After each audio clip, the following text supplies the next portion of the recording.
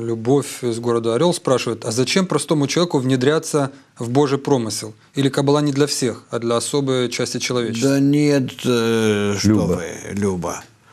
Люба, это не так. Я вам объясню, в чем дело. Ведь Творец специально нас мордует, бьет, дергает, подставляет нам всякие неприятности, кризисы. Почему он это делает? Он это делает для того, чтобы мы пожелали исправить свою судьбу и обратились бы к нему, чтобы он помог нам это сделать. Вот с этим э, условием, то есть с этой целью, он нам и посылает все неприятности. А если мы не обращаемся к нему, а пытаемся сами что-то делать в рамках этой жизни, ну так это себе дороже.